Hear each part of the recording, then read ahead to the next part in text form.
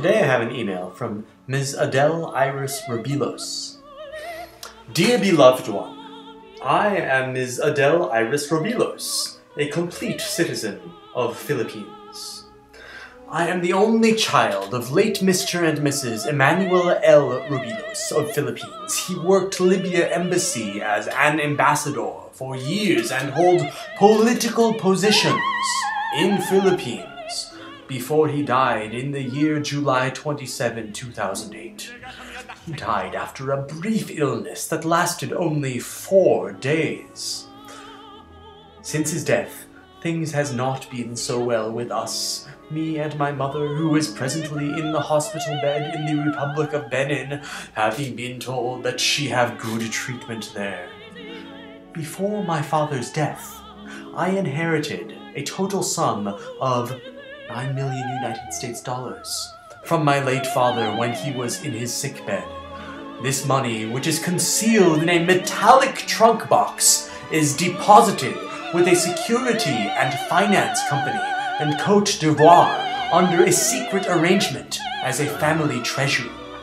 This means that the security company does not know the content of this box that was shipped from the Philippines to Cote d'Ivoire under a diplomatic coverage.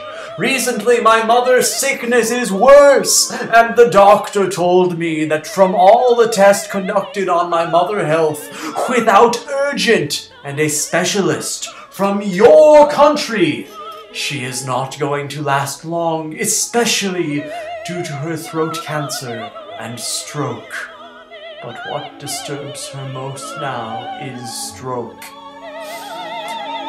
Having known this condition, I decided to contact you and reveal to you in person regarding my heritage from my late dad after my late father brothers has neglected me and my mother and also want us dead, and as well sit on my late father properties and his bank account. So I will seek the help of you in person that will help me secure the release of this fund from where it was deposited and utilize this money the way I am going to instruct.